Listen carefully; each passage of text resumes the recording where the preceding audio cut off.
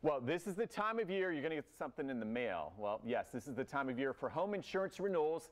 They're out. So I'm here with Whitney Ricci, the president of Ricci Insurance Group, to talk about what are the best practices? What do you do? Okay, so yeah, we're with the right person here. Uh, welcome to First Coast Living. Thank you. It's great to be back. I appreciate it. Always great to have you. You're just a wealth of knowledge. And insurance renewals are going out. So mm -hmm. what should homeowners look for?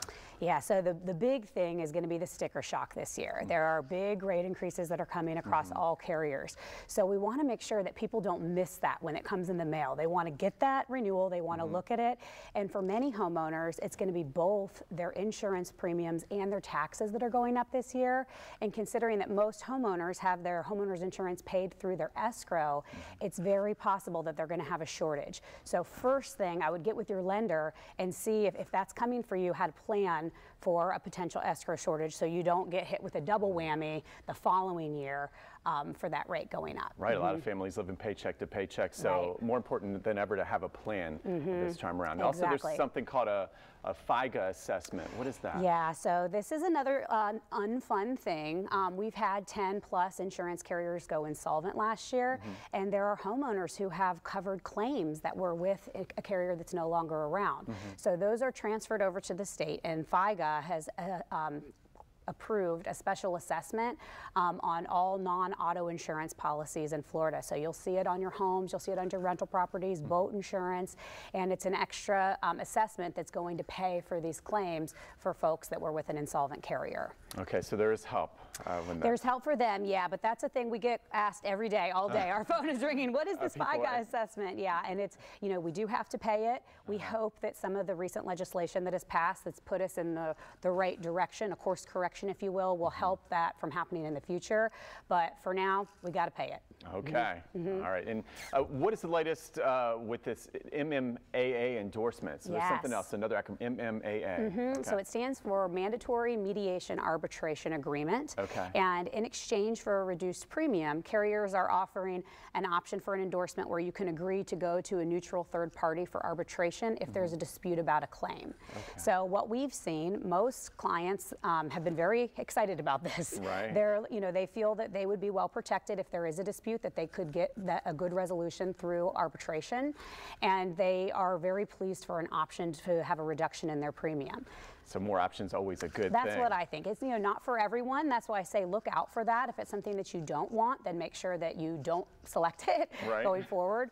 Um, but that's you know a, a, common acronym or a common question that we're getting about what that is. Very good. Mm -hmm. Okay, so that's encouraging. And of course, we can't finish without talking about citizens. Okay, yes. we have hurricane season upon mm -hmm. us. Mm-hmm. What's the latest with citizens? I know there's a lot of folks with uh, citizens insurance. Correct. What do they need to know? Yeah, so we, we spoke in the past, you know, Citizens is designed to be the insurer of last resort. Right. And in many ways, with 10 carriers going under and these massive rate increases, we're pretty much there in many ways. So as we're seeing a flood of new policies going over to Citizens, there have been um, certain um, additional education and things that are going on about exactly what that means. Probably the biggest one since we mm-hmm. spoke last is that Citizens has required every insurance agency owner to take an additional class all about the assessment that is a possibility for citizens policyholders. Now it's in the application, everybody signs off in big writing that says that I understand that if there's not enough money in reserves at the end of the policy period that all citizens policyholders could be assessed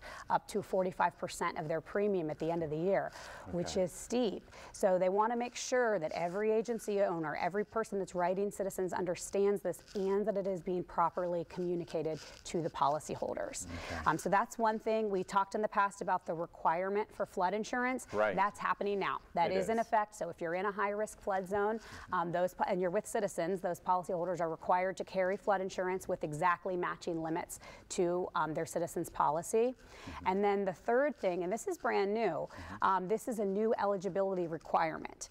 If you have a policy in the private market, starting very recently, you're not able to get a citizens policy unless it's at your renewal.